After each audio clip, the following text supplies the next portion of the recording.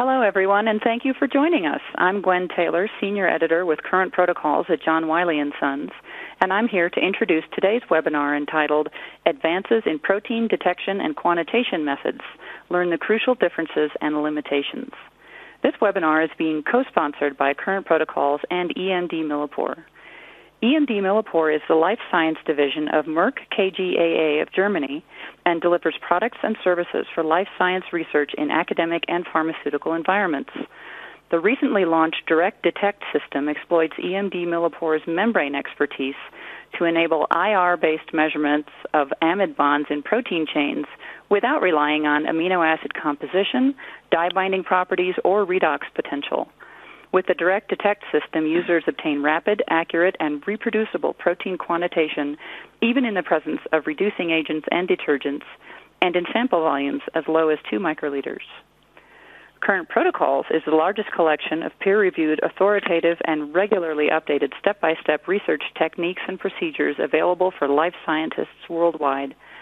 With 17 titles and over 15,000 protocols, Current Protocols is part of Wiley Publishers. We have allotted one hour for today's program, but our speakers have agreed to stay on a bit longer to answer as many of your questions as possible. You can submit your questions throughout the event by typing them into the Q&A box at the bottom right side of your screen. Now it is my pleasure to introduce our two speakers.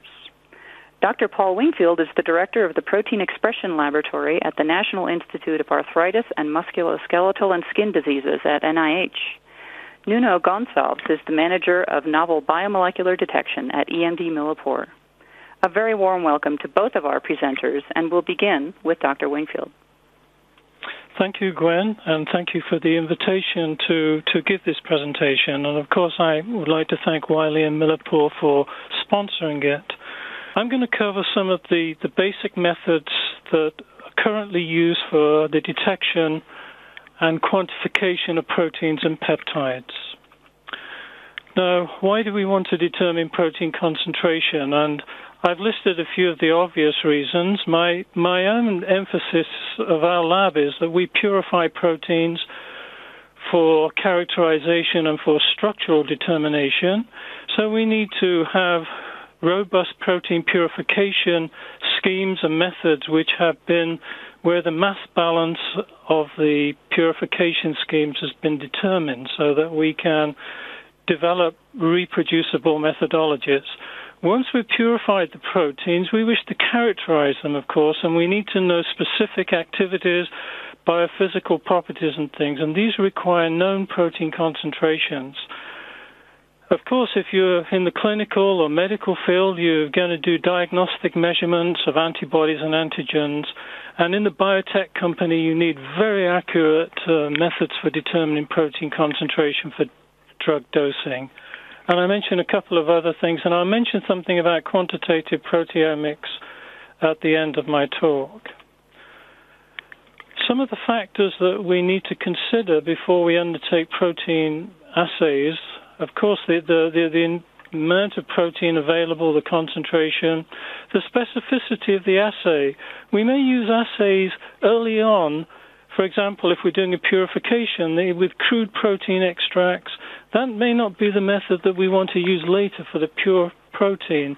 And the assays themselves have spec- have certain spec- specificities of, of detection, and I'll mention them as I go along with the talk most methods are interfered by buffer reagents and things like that. And again, I'll mention that. And of course, we need an easy and reliable method. Often we're dealing with recombinant proteins, and we can find out a lot about the protein from the sequence using some of these sites. I mentioned a site here where you go on and there's a proteomic tools for giving you molecular weight, calculating absorption spectrum, etc. And then, of course, we need to know is the protein an enzyme, an antibody, or antigen, etc. And that, again, will give us a handle on how we can assay and quantitate it. And is the protein, if it's a recombinant protein, it may be tagged, typically, for example, with a histidine tag. Again, it gives us a handle on the protein. So, as I mentioned previously, the purification of a protein is the first step in determining its structure and function.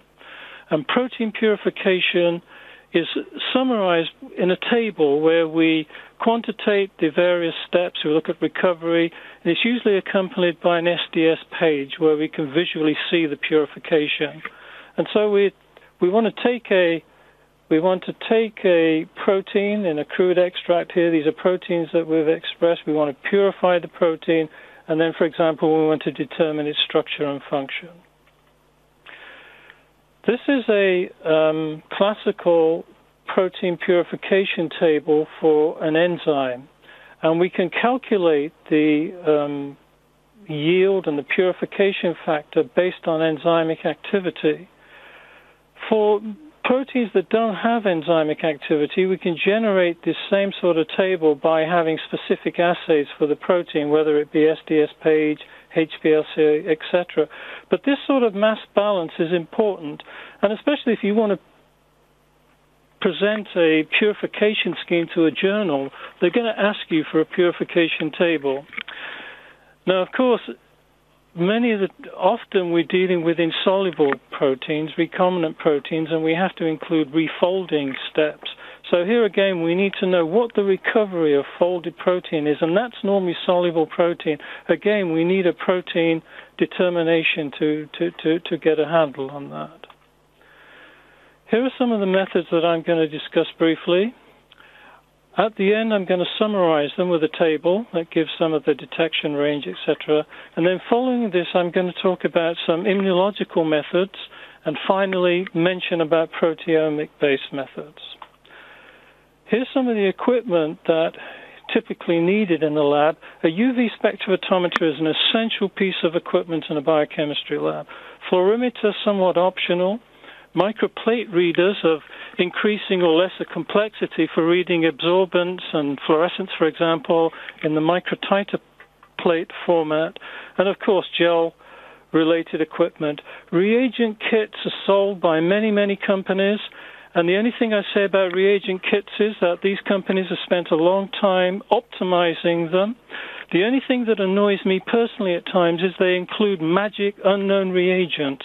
If you're worried about the components of a reagent kit, go back to the original references, or you can even go to the patent where they filed a patent on it and get the composition of some of these kits.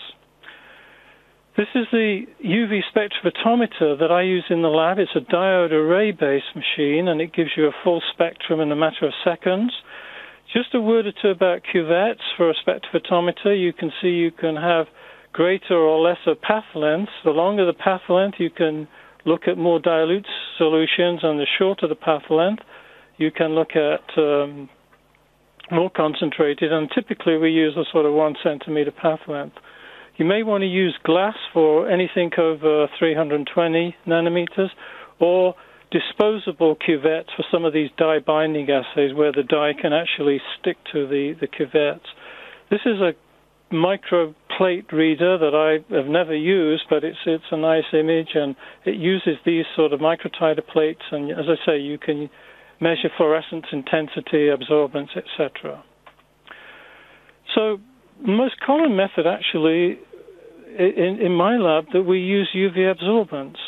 And typically we're using it with purified proteins, but you can use it with any any any sort of protein. And typical in the near UV region, the absorbance is dominated by tryptophan mainly and tyrosine, and these are the molar extinctions for these these residues. In the far UV, in the sorry, in the far UV region, we're actually starting then to measure the the peptide bond, and it's not dependent on composition, although there is some carryover of the absorbance of Tyr and Trp. And if you look at typical absorbances, a 1 mg per mil protein is going to be about 1 OD, whereas in the far UV region, you can see the values creep up, creep up significantly. Uh, the peak is at 192, but you wouldn't use that because of the. Uh, you, you, probably need to purge out all the oxygen to be able to read that. But two, uh, 205 nanometers is typically used to monitor HPLC columns and measure peptides and things like that, using this sort of empirical equation to get a, a sort of concentration handle. And as I say before, this is not dependent upon the composition. If we have a purified protein, and it's a recombinant derived. We usually know the sequence, and from the sequence we can calculate the protein absorbance and the molar extinction coefficient simply based on the content of tryptophan and tyrosine and the disulfide using these sort of empirical equations. And uh, this is the initial reference. I think in chapter three of the current protocols, we have a more extensive article that goes into this calculation in much more detail. We do need to col- correct for light scattering, and you can use this type of plot to um, correct it. And as I say, the, these values calculated from absorbance are very accurate to usually within 5% of, say, the value you determine by quantitative uh, amino acid analysis. And they're certainly more accurate than dye binding assays. Now, an absorption spectrum is more useful than a single OD reading. Here's a couple of proteins. They basically have the same uh, aromatic content. This contains nucleic acid and this doesn't. And you can see that if you just took a single reading at 280, you would be um, in, in error in determining this protein. These two proteins, just a matter of interest, have masses of about 3 to 4 million. They're nuclear capsid proteins, and I put the light scattering correction for these proteins. You can correct light scattering just by doing a simple linear plot along, along here. Like, for example, if you just do that, that's pretty close. Now, if you take the composition, the aromatic composition of these proteins, you can make models simply from the amino acids or from, from calculated databases. And some of these bioinformatics sites will actually calculate the spectra for you based on composition. So it's always comforting to see that they're, they're matched, except here in this one, in the top one, it's not matched because of the, of the nucleic acid content. Um, okay. Here's the absorption of nucleic acid. This is DNA. I just grabbed this from my lab book. You can see that it's dominated by 260, and RNA is similar. And you can use these sort of uh, formulas that you see in the literature to actually measure concentration, give you a rough idea of protein concentration in the presence of nucleic acid. Now, you may be lucky and your protein has a nice prosthetic group or something like heme, and the proteins are colored, and then you can use your eyes as spectrophotometer. And it's fantastic being able to follow red proteins running down columns and uh, things, and you can use the extinction coefficient of the uh, of the, chrom- of the, the chromophore to actually measure concentration in the presence of other proteins, cytochrome C, for example. And here's some other examples uh, that, that, are listed. You may want to create your own look in terms of absorption by actually incorporating amino acids. And if you, for example, in E. coli expression, you can use an auxotroph for tryptophan and incorporate um, modified tryptophans. And th- these have different absorbance to the tryptophan in protein, so you can monitor that particular protein in the presence of others and people have used that successfully for both detection and binding studies. If you incorporate a unique cysteine into a protein, or there may be just you may have may have just one cysteine, or you can delete others, but one cysteine will give you site-specific labeling, and then cysteine is the most reactive group in proteins, and you can tag it with all sorts of labels and things that you can use for detection and quantitation. Fusion proteins are also commonly used, and the most famous, of course, is the green fluorescent protein. And uh, I, I, don't need to go into that. Just to mention, however, that the denaturation of this protein is results in a lot of in, in quenching and this is used to monitor protein folding. And I give a reference at the bottom, which is very interesting because it actually uses the green fluorescent protein to look at denaturation when proteins are bound on a surface. And this is important when you do immunological assays. If you directly bind proteins on a surface, it's not really commonly understood that you can denature those proteins. So for some of the immunological assays that I mentioned, it's important to be aware of that. And uh, as I said before, histidine, histidine tag proteins uh, are useful for monitoring and detection. Just one word about imidazole. Imidazole shouldn't absorb because you, you use that, of course, to, to, to delete the proteins from the affinity columns. But most grades of imidazole that you buy have very high absorbance at 280, and it's annoying if you want to use spectroscopy for looking at your proteins. I think there are some grades of it that are okay, but normally you, you have to get rid of it. And the histag itself can be used for immobilization and detection on gels, and there's a, a reference that I give there that, uh, that, that, that, that, in, that shows how this is done. Now, I'm going to mention some of the common colorimetric methods, and these are the methods that many people are probably most familiar with. And here's a couple that are, are very popular. The Bradford method based on Coomassie blue binding, when the Coomassie blue binds basically to basic groups and hydrophobic, so there is some specificity, some sequence specificity there. The absorbance changes. Now, the, and there's this BCA method, which is based on the Biuret reaction, and Biuret reaction is where copper is reduced, and then the copper is forms these these complexes with the dye, and these these these are used to to monitor. And of course, you can get lots of kits and information from the manufacturer websites. I will say that with all these assays I'm going to mention, the devil is in the detail. And you, if you look at the manufacturer's sites, they'll give you lists and things of things that you can and cannot get away with in terms of buffer components and things like that. Fluorescent methods are generally more sensitive, and here's a couple that, that, that, that I mentioned. One is based on an interesting approach where you bind the SDS, you, sorry, you bind the dye to the SDS coated protein. You know, SDS binds quantitatively to proteins, and this forms a ternary complex, which then you can monitor um, by, by fluorescence, either by a fluorimeter or on plates. Um, this method here, the other method here, um, uses uh, amino acid uh, amino group derivatization. So it's actually a covalent modification, and this again is is very sensitive. And Life Technologies, which will own every company selling these kits eventually, the way they're acquiring, will give you lots of information on it. Now, interfering substances can be removed uh, you can either just go go with them there and take into the, them into account based on what the manufacturers have said, or you can actually remove them by precipitation. And if you do precipitation, you need to include a standard spike in a standard to, to measure the recovery.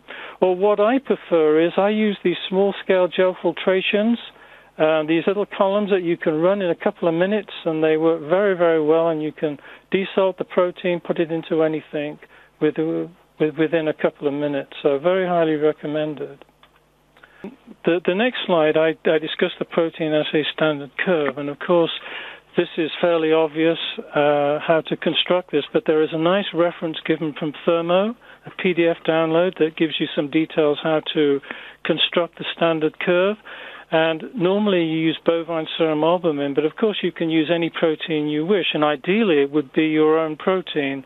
And this just gives you a little bit of detail that you may or may not be aware of on how to construct these curves.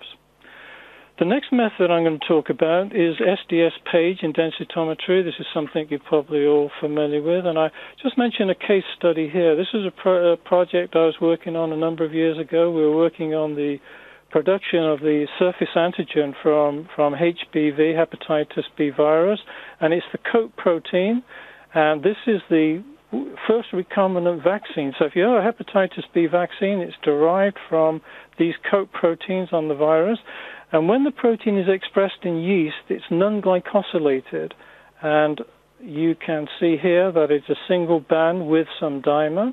It's a very, very cross-linked gel, uh, disulfide cross-linked protein. So there's always a little trace of the dimer. The, the normal authentic antigen is glycosylated, one of the chains, but this is still efficient as the vaccine, and this is most of the vaccine is, is derived from yeast. Now, we wanted to develop a method for a simple method for following our purifications. It's independent of the physical state. We need to see where the protein was going, etc. And so we used a densitometry and SDS page method. And I draw your attention to the bottom panel here, where we use Coomassie blue staining. So this is a standard amount of all these proteins are all the same amount of protein. You see there's a little bit of variation with the normal standards, but our particular protein, the surface antigen, has a very, very low staining index.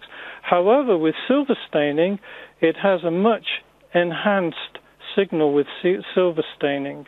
And this was the method then that we used, and we calibrated a curve here, and this was linear up to about 1.5 micrograms. So just you, you, you, this is an example of where you know the the you, you, need to really check what your staining index is if you're using with Coomassie blue. This protein is low, very high with silver. Now, amino acid analysis is where we determine the amount of amino acids in a protein. So considered the gold standard because it's independent of any uh, of, uh, of any other considerations. And normally we hydrolyze the protein, we derivatize these amino acids, and then we resolve them. And we can either do it by pre-column derivatization, as shown here, I, I, give a web reference where there's a lot of details on how you do this. It's a very, it actually, it's a very specialized methodology. Or we use an old classic amino acid analyzer. There's probably not many of these hanging around now, but this is based on what we would say is a post-column derivatization with ninhydrin, and we use a cation exchanger to resolve the amino acid post-column derivatization. And in the current protocols uh, book, and there is uh, more details about the derivatization used for amino acids. Most people, I think, outsource this amino acid analysis, and there's a particular site that we've used, but there are lots of others. Here is a summary of the routine methods of quantitation that I've discussed so far. And you can see that amino acid analysis is the only one that really detects all the amino acids um, and the others all have some sort of bias one way or the other. And uh, yeah, I think and the range of detection uh, is like I said, the, the fluorescent methods are more sensitive than the, the dye binding. And I, I, I think this is pretty self-evident. Now, what about peptides? We can use the colorimetric assays, especially the um, the uh, BCA method where we did the biuret. So it's preceded by the biuret reaction, but the biuret reaction needs about three or four amino acids, so there is that reservation there. Uh, probably the fluorescent methods I measured are probably okay, but for very small peptides, there's a little bit of a question mark. You have to probably look at that on a case by case thing. The SDS page, just a comment, if you're running SDS page of small peptides, you need to use a high percentage cross-link gel, and you might want to include some urea in the gel to increase the resolution. And you may want to cross-link the peptide onto the gel with glutaraldehyde or formaldehyde to prevent gel leakage while you're staining and manipulating the gel. UV absorbance, as I mentioned, um, can be used and com- is usually used with HPLC both 205 and 208 to monitor HPLC columns. Amino acid analysis, mass spectrometry uh, are the most commonly used methods here. Now, immunological based methods, um, I'm just going to mention them very, very quickly here. There's the, the ELISA method that you're all probably very familiar with. Radioimmune assays are not used so much, but there was a time when you used to have to radioiodinate your proteins with I-125 and be very, very careful. But that's that's not used much, although these methods are very sensitive. And of course, Western blotting, um, dot blotting on membranes uh, is is also commonly used. Just a comment about the antibody. As you know, antibodies against conformational and linear epitopes. And if you're doing Western blots, you don't always renature proteins after the manipulation. So you may want to think about actually generating a antibody uh, either against peptides or a denatured protein if you're going to do a lot of Western blot work. Now, the basis of quantitative ELISA and Western blotting is based on the, I have the little uh, schematic here where you have your primary antibody detecting a protein. Your secondary antibody is typically an anti-species, anti-goat, anti-rabbit, etc., enzyme linked and the enzyme is then generating a color reaction or a light reaction or so forth that you use to to to to, to monitor the reaction. And the most sensitive are based on chemiluminescence, and you need a fancy luminator camera or a device like this for doing those measurements, or simple X-ray film. So for the enzyme linked, we can use chromogenic substances, the chemiluminescent substances, and here I've just tabulated some of the properties in terms of sensitivity is lower with the chromogenic compared to the to, to the uh, luminescent methods. There's a very very good overview on on all of this, um, and I've given the reference at the bottom from KPL. So that's well worth a look over to get more detail about these uh, this approach. There is also a very nice re- reference that you can go online to look how to quantitate Western blots using this freeware software from the NIH. And this is a detailed, very, very detailed methodology. And I just say something else you may need equipment is for doing Western transfers is a this iBlot machine from Invitrogen, which is very economic and it works very, very well. Finally, then, I'm going to mention a few pro- about proteomics.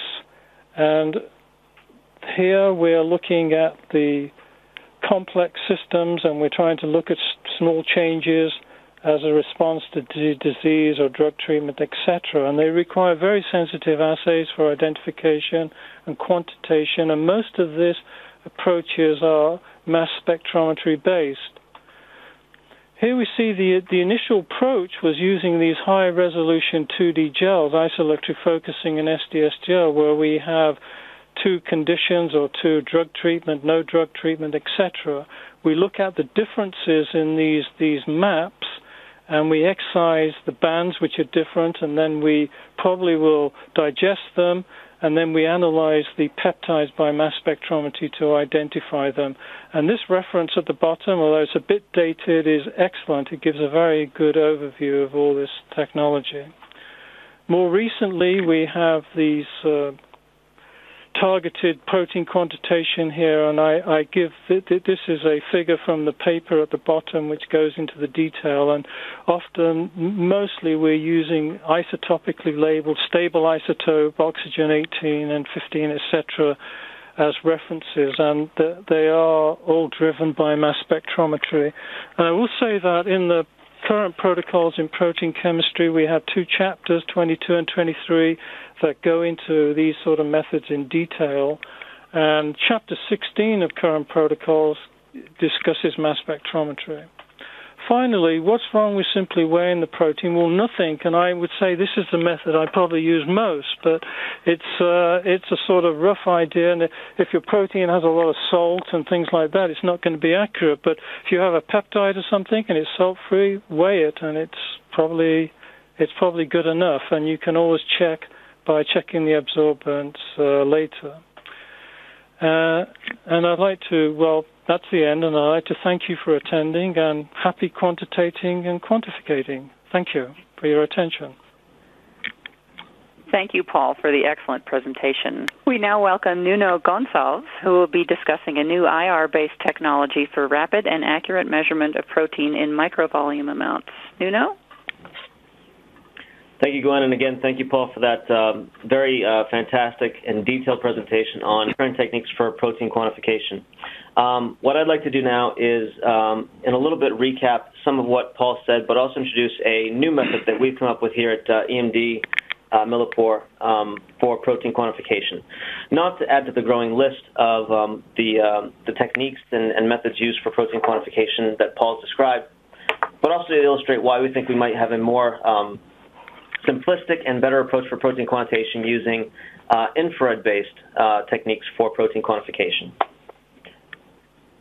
So to jump into that, I just want to give us a brief historical outline of some of the some of the methods that Paul uh, went through in his presentation.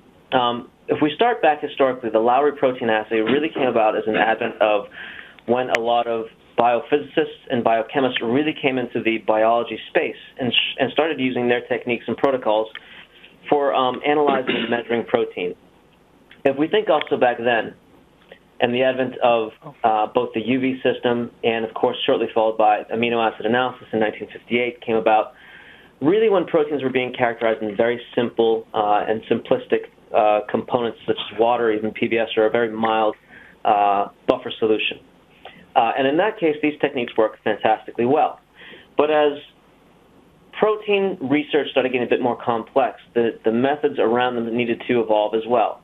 In 1976, the Bradford assay was um, invented really as a, um, a, stepping stone for studying proteins in more native solutions with uh, either, say, detergents or the reducing agents to keep them soluble. Following that, the Lowry assay was then subsequently reinvented to become the BCA protein assay, or the Smith assay. Not a major leap forward um, compared to what it was between 1951 and 1985, but again making it more adaptable to the uh, solvents and the and the components that proteins were needing to be studied in at that point. Note back in 1957 and 58, both UV and amino acid analysis were introduced roughly around the same time. Today, UV uh, systems are used uh, by and large, and, and, and, like Paul mentioned in his presentation, are pretty ubiquitous in a lot of protein labs uh, for the use for simply the use of protein uh, quantitation and, and, and, identification. Amino acid analysis, again, uh, being the gold standard, is not as widely used, mostly because, unlike UV, which adapted to uh, to be used without the expert and the cost of it has gone down, amino acid analysis really has not. Uh, and while still amino acid analysis labs exist and most people use them uh, as a core facility for quantitating proteins, barring any other choice or option, the UV system is still persistent in many labs. But really, it's been more than 25 years um, since the last major innovation, uh, the BCA uh, reinvention, since we've had any, any major innovation around protein quantification.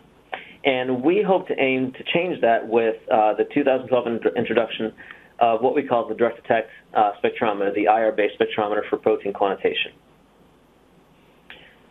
So let's um, give an overview of what uh, we mean by improving protein detection with IR spectroscopy. What I first want to establish um, is what uh, Paul also mentioned in his presentation, is that all protein quantitation is essentially relative. We have no real way of actually going in and weighing out how much protein and exactly what amount is there. We use, for the most part, standards and standard curves established by these methods.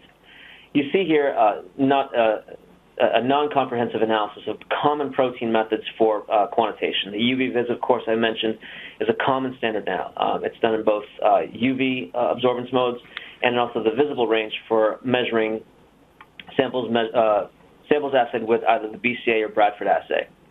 Both amino acid analysis and mass spec exist and are used today, mostly because uh, mostly because there might not be any other resource or proper method uh, like UV or Bradford or BCA that would be appropriate for the protein uh, uh, of, of interest in this case. Uh, amino acid analysis can be costly uh, and can be very expensive and slow, especially if you're sending it out to a core facility, but it can be very precise, which is why it's, it's labeled as the gold standard today.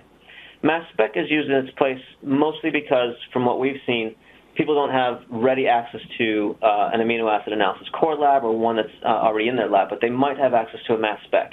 And in this case, we've seen a lot, uh, mostly peptide uh, concentration determinations uh, done by mass spec. Like amino acid analysis, it can be very costly and slow. You'd also need an expert, someone uh, trained on working with the mass spec instrument to get you your the values you're interested. and of course, we've also heard the arguments that they might not be entirely quantitative. The techniques we're introducing today uh, with direct detect, which are infrared based, uh, are not new. Uh, they've been around for a long time, and actually, there have been papers written back uh, to the 1950s and 60s. So, what we're introducing is not necessarily a novel technique, but a novel application for an existing technique. Previously, like amino acid analysis and mass spec, uh, there's been an expert needed to operate uh, such a, a high tech or high, um, highly sophisticated instrument like an infrared spectrometer. And these things have typically been, been very costly, between forty and fifty thousand dollars at the low end of today's price uh, in U.S. dollars. What we aim to do with Direct Detect is try to remove the expert as much as possible and reduce the cost so it be more applicable to uh, basic life science research for, for standard everyday protein quantification. So when we talk about infrared-based radiation, it's not unlike what, we're, uh, what we've been measuring with UV-based radiation uh, in the past. They're both absorbing different components of the protein in this case. In UV-based radiation, which we're all most familiar with, the UV light is absorbing the aromatic amino acids uh, mostly in a protein, which requires an extinction coefficient to normalize and get the right protein concentration out of. In IR-based radiation, what we're measuring is the amide bond absorption of the light, uh, the IR light in this case. What this means is that we don't necessarily need an extinction coefficient to normalize the total amount of protein being measured because the amide bond is intrinsic to all protein uh, and consistent within every protein, uh, more, more so than uh, the aromatic amino acid composition of most proteins uh, if measuring by UV light. Also something to consider is that in the visible spectrum, if we're measuring with a Bradford or BCA assay, those dyes bind more specifically to aromatic amino acids, uh, which is something that most people don't realize when employing these assays. Unlike UV radiation, uh, or UV absorption in this case, what's not being normalized is the extinction coefficient. There's not one that exists for Bradford BCA assays. So the comparison to a standard curve in that case could be slightly off just by uh, using different proteins as a standard curve versus the ones you're measuring in solution. So what exactly are we measuring uh, in an IR band spectrum? As you can see, there are a lot of different amide bonds or amide bands that uh, are present in a total IR spectrum. What we want to focus on are the two uh, in the shaded regions here, amide 1 and amide 2.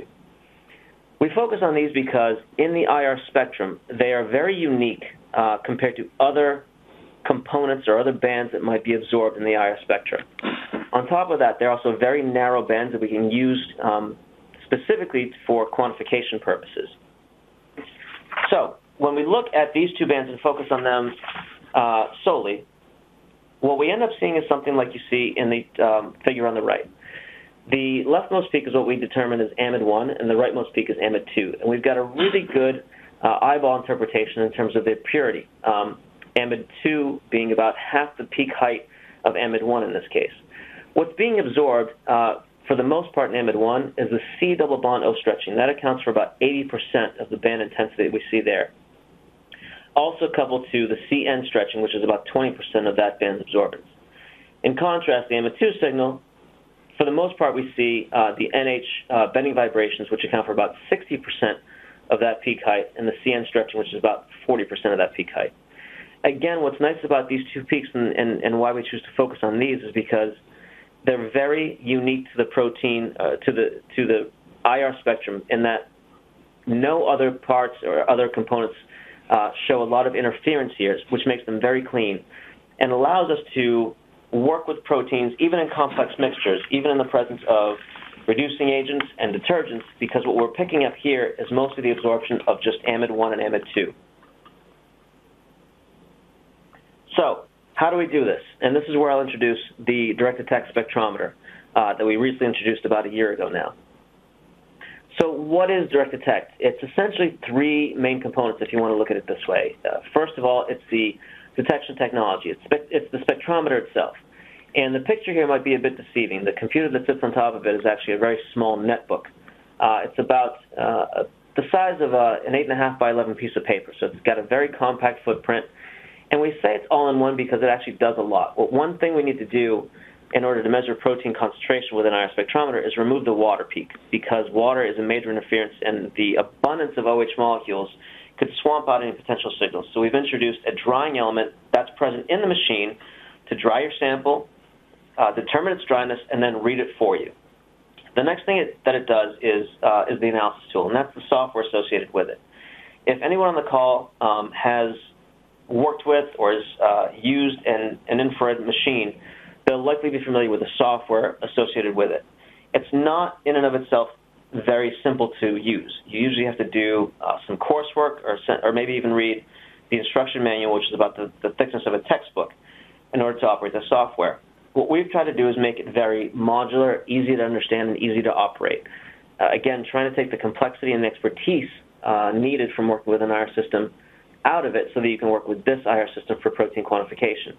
You can see in the screenshot there we've modularized the components for input parameters. You label your card, uh, you label what spots are on your card, and you hit the measure button and the processing is then done for you. We've also included some post-processing uh, features to help you analyze your sample even further after you're done uh, taking measurements with it. And lastly, we made the IR system application focused, in that we focused mostly on it uh, being a protein quantification tool.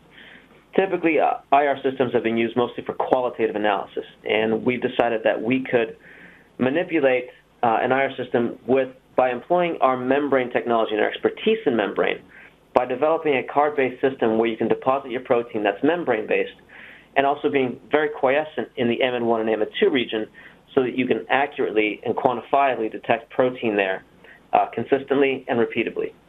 What's also neat about this is we've made it small volume compatible. We know that in a lot of cases your sample is very precious, so the uh, direct detect system works with only 2 microliters of your sample volume. That's necessary. So, major difference again, just to recap, if you're looking at a protein not limited with, with anything, it looks like uh, the, the sequence of what looks like marbles on the screen here. With UV light, which is again the most common technique, what we're illuminating is really just a fraction of the protein in this case, and then determining the concentration with an accurate and known extinction coefficient. On the right-hand side, however, if we illuminate with IR light, what we're detecting is the amide bonded protein. So the entirety of the of the protein is really being illuminated here, right? And the difference is in the results of the proteins we get. We can take four different protein types here. We've we've we've called out cytochrome C, which has a, uh, a chromogenic uh, component to it. Uh, protein A, which lacks uh, aromatic amino acids, making it very difficult to quantify with UV-based systems. BSA, which is a very common uh, protein used mostly in standard curves, and IgG, which is a very common protein that's uh, needing to be quantified with these methods. On the left, you see the FTIR and how much more tightly overlapped all those different proteins are measured on an IR system. The comparison is on the right, where you see the different absorbance units for, this, for those four different protein types.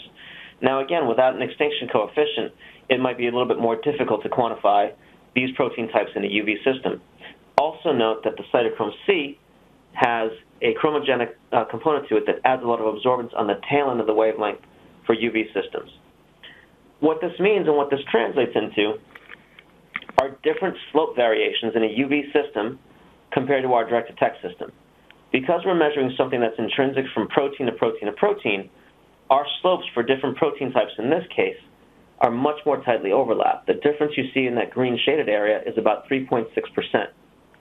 Versus in a UV system, where you can get different slopes for different protein uh, for different proteins that you're measuring, just based upon the sequence of that protein, that protein information. Now, again, if you've got an extinction coefficient, this might be um, reduce for you the variability. But in a case where you're using a Bradford or BCA assay, which might be more common, and you don't have an extinction coefficient because one uh, a normalizing factor doesn't exist, and your uh, your dye binding reagent binds a bit more not bit more specifically than you thought, these effects of slope are exacerbated. What we can do here with this information is use BSA as a more standard, universal standard curve in this case for measuring all protein types. And what we've done in our system is measure uh, BSA and include that standard curve in our system that comes preloaded in the Direct Detect software. So we can compare our results to amino acid analysis because at every point in our standard curve, we've measured that sample by amino acid analysis. And these are the, results we see here. Uh, on the left-hand side, we have a comparison of uh, measurements of proteins done with Direct Detect in the dark blue bars against amino acid analysis as the reference method. And we see four different concentrations, two of them with different mixtures of proteins. Uh, and the two mixtures are made of eight different protein types and the differing amounts uh, of cytochrome C as well, as well as measuring lysozyme and again protein A, which lacks uh, um, uh aromatic amino acids that make it uh, very difficult to quantify with UV-based systems. We contrast that on the right with an experiment done and published in 2007 uh, in molecular biotechnology, which compares uh, seven different protein types measured by different techniques, the, the BCA assays called out here, as well as the Bradford, and some fluorescent assays as well. The results of these were then sent out for amino acid analysis and then normalized to 1. And the variability you see, basically the, the positive or negative uh, inclines in the, in the error bars there, are the differences between the amino acid analysis results and the results obtained by each uh, individual uh, method and each individual protein. So if you look at that, the variability from the low end to the high end could be up to threefold or more in that case. Whereas in our system, because we can compare uh, our proteins to a universal standard or a more universal standard, we can match our results to amino acid analysis, again, without uh, the high cost of sending these, the, the samples out for analysis and the long turnaround time. So to illustrate that, we've got a few scenarios here um, and how we can separate out uh, our samples and our protein readings from uh, cases where there might be some interference caused by uh, certain um, certain protein analysis methods. Uh, one common case is SDS, and in a lot of cases we know that the Bradford assay is interfered with by uh, the presence of detergents. Uh, and in our case, what we see, and one advantage of the IR system, is that the protein spectrum is very broad, and we can get to very unique, distinct protein regions separate from where SDS is being absorbed or the other, um, detergents are being absorbed in this case, giving us a clean spectrum, a clean signal to quantify off of uh, from protein versus any other components that might be in, uh, in the mixture. The results we see here are the results of measuring um, BSA uh, uh, diluted in either PBS, DTT, and an SDS, which is highlighted below in the red circled, uh, the red circle on the left. Uh, the result with the Bradford assay is that in the presence of SDS, what you get is a much more reduced signal in this case, which leads to an under-quantification of your protein. In contrast, in the BCA assay, you get more tighter alignment with uh, what you expect. But one thing to note is that while the, while the levels are slightly elevated, the error bars are slightly higher too, which leads to more variability by using the BCA assay uh, as an alternative to the Bradford assay for protein quantification in the presence of SDS. Similar thing goes for the presence of uh, reducing agents. what we see here is beta-mercaptoethanol. And we all know that reducing agents like beta-mercaptoethanol and DTT are, for the most part, incompatible with the BCA assay because that assay relies on the reduction of copper ions in order to bind uh, the protein sequence in this case. In this case, the same thing goes for the quantification of uh, protein with direct detect. The DTT, the reducing agent signal, is far separated spectrally from where the protein is absorbed. So again, we get a clear amide 1 peak that we can quantify off of uh, without the presence, uh, without the interference of reducing agents like beta-mercaptoethanol in this case. And again, the same thing goes. What we see here in the circled area here is the presence of reducing agents while trying to measure proteins. The result, the net result is that you get complete oxidation of uh, your uh, BCA reagent, leading to zero results in your BCA assay.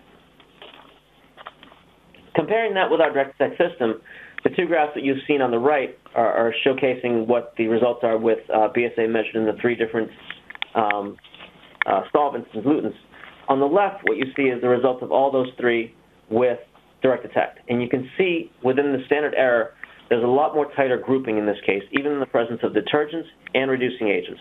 Again, mostly because those components are separated from the protein region where we're measuring uh, protein and quantifying it in this case. What this can translate into is effective quantitation of, say, cell lysates uh, without cleanup of your lipid components or even your SDS or detergents that might be in your lysis buffer here. What you see is uniquely spectrally distinct protein in the green shaded area compared to what um, might be showing up with lipids, let's say, in the blue shaded area and other components that are spectrally distinct and separated from the protein region in a much larger IR spectrum compared to a UV spectrum, which is, again, much narrower and a lot more things absorbed within the same region. So how easy is it to use? It's actually quite simple. You just take uh, two microliters of your sample, deposit it on one of our assay free cards, uh, place it in the instrument, which will dry the sample for you, and when it's ready, it will take the measurement. Whole process roughly takes about two to three minutes per card, including the drying time and the measurement time. And then you, set, you see the results uh, instantly as they appear uh, on the system and the software uh, that you see on the screen there. Uh, the sample card is composed of a PTFE membrane. Uh, it's very durable, it's very tough. You don't have to worry about poking through it. Uh, what you do is want to make sure that as you pipette, you pipette vertically into the center of the spot there.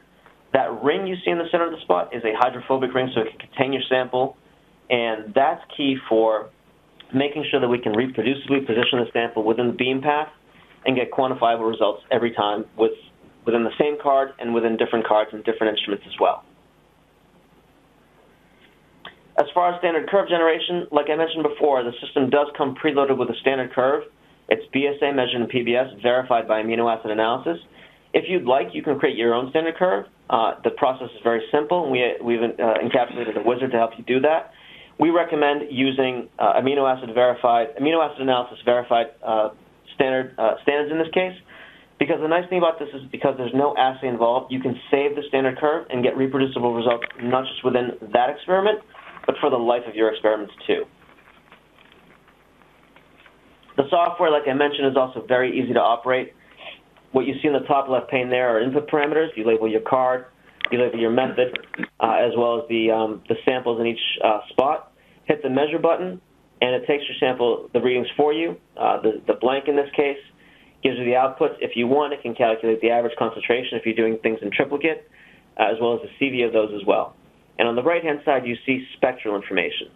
So you see whether or not the, the, the protein you're measuring is clean, is, it's pure, and then you can also expand that to the full spectra and see if there are any other components in there that might be problematic to you before you proceed downstream with any other assays you might be running. We've also expanded our application to be able to detect lipids quantifiably. And essentially what we're measuring in the lipid profile here uh, is the symmetric stretching of either the CH3 or the CH2 bond in this case. Now, one thing to note here is unlike proteins, uh, there are different, uh, there's not necessarily one universal standard for lipid quantification in this case. What we have to do is um, you'll have to create your own standard if you've got one, but in the presence or in the lack of a standard in this case, what you can do is measure relative absorbance. What you see here is different um, lipid profiles, lipid spectra profiles uh, for um, the CH stretching in each one of those. The result of these is, is essentially different slopes, and that slope is really mostly dependent upon uh, the length of the uh, the uh, aliphatic chain of the lipid profile in that case, which is again why we can't necessarily supply a universal standard curve like we've done for protein for lipid analysis in this case. But again, it's a neat tool, especially if you're trying to measure the amount of lipid uh, content in your samples, if that's important to you, or if you're actually looking to reduce the amount of lipids before proceeding downstream with, say, Western blot or ELISA after your protein quantification. If you're interested in reducing the detergents, or the amount of uh, lipid content from your cell lysis solution. You can track that, and we've done that here with Direct Detect uh, in the same reading and in the same measurement, both measuring protein uh, and lipids uh, through subsequent spin washes. And we've also been able to improve peptide quantitation with um, Direct Detect as well. Similar to what we've done with BSA as a more universal standard curve, the same principles apply here with peptides. Uh, with natural sequences, we get very uh, similar patterns of absorbance uh, along the same slope of BSA, in this case, in the red line, with three different proteins we've measured here, um, or actually with one, with one peptide we measured here in uh, PBS water and DMSO. So the slope variation doesn't change uh, in this case, which again leads you to be able to compare your protein or your peptide uh, value to our BSA standard curve in this case, because what we're measuring again is the amide bond of both the protein and the BSA and in the, um, in the peptide as well. Comparing that to weight-based quantitation, what we've done is actually measured uh, weighted material.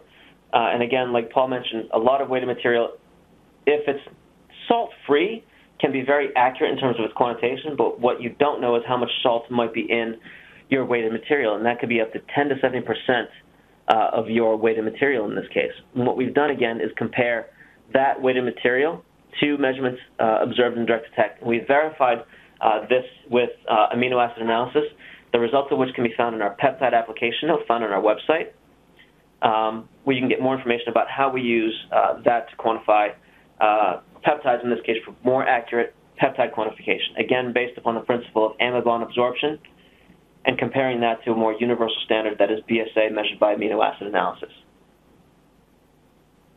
So, just a quick summary of the features of Direct Detect. Uh, again, we don't, uh, we're not interfered with by detergents and reducing agents, uh, which means that your accuracy is comparable to amino acid analysis, and there's relatively no need for a buffer exchange in most cases when trying to measure protein with our system. We don't need an extinction coefficient, again, mostly because we're measuring the amide bond of protein and not something that uh, is unique or specific to the sequence of protein, like the aromatic amino acid. So there's no need to run any colorimetric assays like the Bradford or BCA assay, and your quantification is independent of your protein sequence. We can detect proteins as well as peptides and, and even lipids quantifiably with a relative standard curve in this case. What this means for you is that you can determine more of your total sample composition, have more confidence in your results before moving downstream to your experiment. And a lot of these things are not possible, like I said, with UV, mostly because there's absorption within the same region as, say, lipids and proteins uh, in the UV spectrum. Your samples can be spotted in ambient conditions. There's no need to, um, uh, to, to, to, keep them cool because the, um, the system dries your protein in order for accurate quantification of the, of the protein in this case. This means that even for a short time, you can archive your samples and reanalyze them. If you didn't have confidence or you wanted to rerun the sample again within the next few hours or maybe the next few days, depending upon your protein stability, you can put that same card back in the machine and reanalyze it. And again, it requires minimal sample volume. Only about 2 microliters is needed. This conserves precious samples, and unlike colorimetric assays where you might be able to analyze 2 microliters, you still have to commit a lot more protein to the assay itself in order to be able to be analyzed uh, in 2 microliters. So that's uh, it for my presentation. I'd like to thank you all for your time. What you're seeing on the screen now is basically the uh, slogan that we've gone out with. Uh, we are differentiating ourselves based upon our ability to uh, walk away from and uh, not use Bradford assays, and it's not just Bradford assays in this case, it's, it's BCA and other colorimetric and fluorescent assays too, uh, with IR-based quantification. Again, we're measuring the amide bond of proteins, so we have something more intrinsic and more applicable to all protein types. And also because our spectrum is much broader, and those other things that would interfere with other Bradford, BCA, and colorimetric assays are spectrally distinct from the protein region in, in an IR spectrum. So thank you for your time. I'll start taking any questions now. Thank you.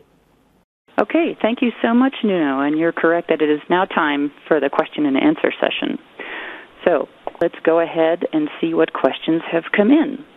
Uh, this first one, I'm, I would think Paul may be the, the recipient for this. The question is Can a proteinaceous drug like glycopeptides, once made into a complex, can that be detected at the same wavelength as used for the, the simple drug? Um, yeah, I'm I'm not quite sure. I mean, I yeah, I, I am not quite sure about that. So well, what they're asking is is the well, can you repeat the question, please, Gwen? sure.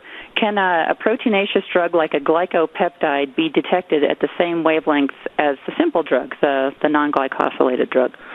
Um, the glycosylation, I'm not sure how that affects the um, the the the absorbance, and I think you would need to look at them separately to check them out. But I'm just saying, in principle, yes. Okay. Great. Um, the next question uh, is for Nuno. Uh, the question is Is the direct detect system as precise as mass spectrometry? Well, the precision will be um, dependent upon the substrates being used. Um, I, I, know a lot of people who've used mass spec for quantitation, uh, and they say that it's not entirely quantitative. Um, what we benchmark direct detect against is amino acid analysis, so we can compare results uh, more directly to that system rather than mass spec. If the mass spec system is probably calibrated well enough and can be calibrated to amino acid analysis, then yes, we can say that the results will match. We've tried to match our results to, the, to what we term as the gold standard in protein quant, uh, and that is amino acid analysis. Okay. Uh, this next one, I believe, is also for Nuno. The question is Can the FTIR analysis be used for bound proteins? Uh, I'm not sure what is meant by bound proteins. Um, I'm guessing maybe bound to a substrate. Um, if that's the case, uh, and if, if, if you could retype the question with just a bit more clarity, I can I can go back and re-answer that. If it's bound to a substrate, it might be a bit difficult because we do require the protein to be spotted onto uh, the assay free card.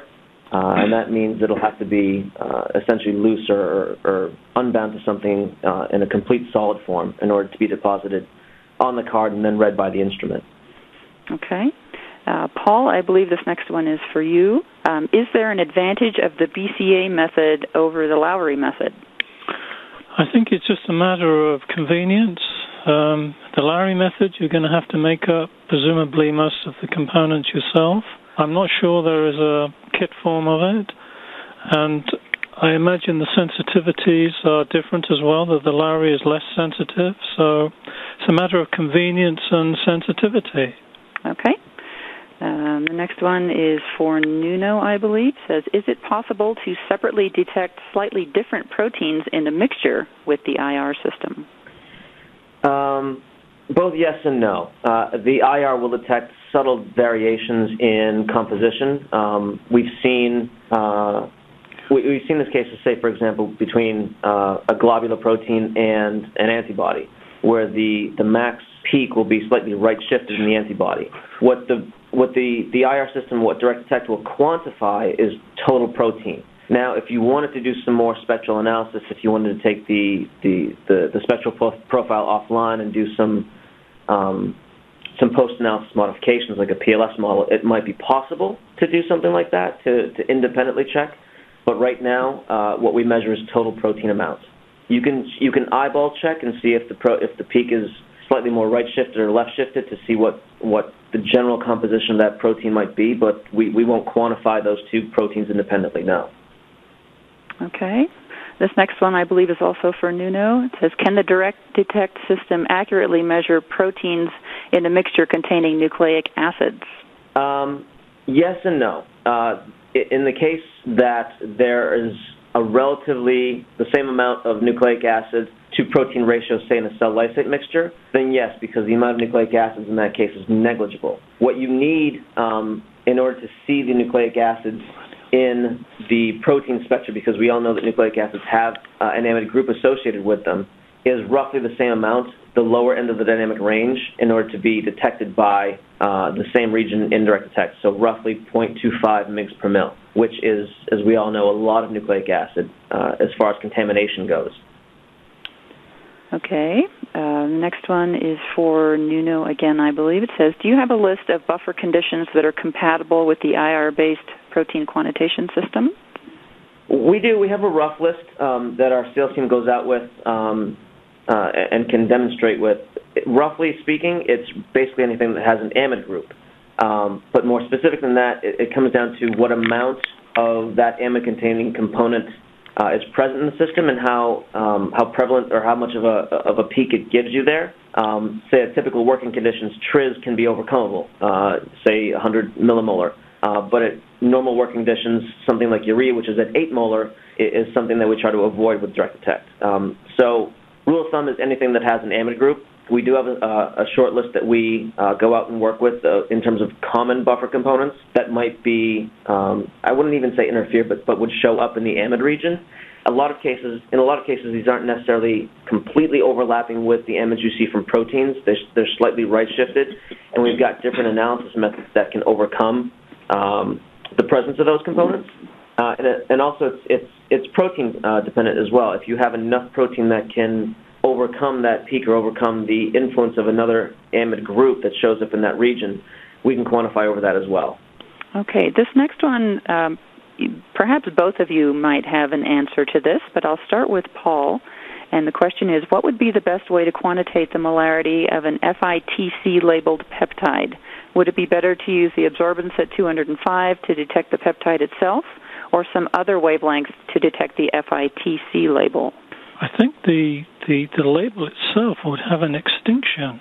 So you could use both, but I think that the label itself normally has an extinction. Now, whether that changes when it's bound to a peptide, I'm not sure, but typically you would use the extinction coefficient of the label. That's what I would suggest, anyway. Okay. Nuno, I didn't know if you had any comment on that with the FITC labeled peptide. The we, we've not had an issue with with um, absorption from fluorescent compounds uh, interfering with the measurements of proteins or peptides that we've that we've gotten in the in the amide region for for protein and peptide quantitation. No. Okay. So those things are essentially independent of the amount of protein you'll be quantifying in an FTIR, uh, like direct detect. All right. We have time for probably another one or two questions here. Nuno, I think this one is for you. It says, do any salts interfere with the direct detect method? So yes, some salts will. Um, uh, mostly buffer components that are amide containing like tris. Um, but again, they have to be in, in, relatively high amounts in order to get uh, total interference where you can't quantify a protein off of. What we also say too is, is there are a lot of common components, a lot of common salts that will interfere with other ass- other assay methods, methods like the, the UV assay, the Bradford and BCA assay, what's nice about direct detect is even though you can uh, you can see that if there's something that interferes with protein quantitation, at least you're able to see it and identify it, uh, and potentially do something about it, like clean it up or try to remove it before moving on and actually getting a protein um, measurement out of it, and then moving on comfortably downstream to your next assay uh, or something that matters to you in terms of getting a result out of. Um, so without going into specifics, like I said, that we do we do have a list. We have a short list of things that'll interfere. Common salts like sodium chloride, uh, are, no, won't interfere. Uh, again, if they if they don't contain an amide group, we won't pick them up in the amide region for protein quantitation in direct detect. All right, uh, Nuno, this one is for you. It says, can we use the direct detect method to check the concentration of protein within the cell without lysing the cell? That's a great question. Um, I know that the R&D team is curious about that as well. Uh, it's something uh, we'd like to try, but we just haven't tried it yet. Theoretically, it, it, might be possible. You will have to destroy the cell, however, because you'll have to get rid of the water content. Okay, we're just about out of time, and so must conclude the question and answer session. Um, but today's webinar has been recorded and will be available for viewing in the next couple of days. And we will send each of you an email with details of how to access the recorded webinar, along with downloading a PDF of the slides and instructions on how to customize and print a certificate of attendance. You can also access the certificate of attendance right now from the Docs and Links tab, which is on the right side of your screen. Uh, and right now, actually, you're invited to complete a very short webinar evaluation questionnaire by clicking on the Docs and Links tab. And on completing this survey, you'll be able to download a complimentary copy of the Protein Blotting Protocol Guide and the newest application notes on protein quantitation, which are provided courtesy of our sponsor, EMD Millipore.